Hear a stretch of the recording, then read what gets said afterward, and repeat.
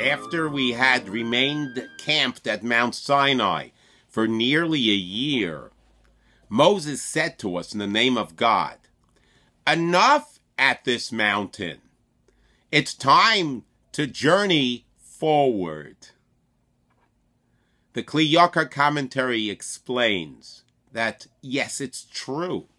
At Mount Sinai, we received the Torah, we built the tabernacle, and we truly became spiritually elevated, but we reached a plateau where we were sitting on the mountain.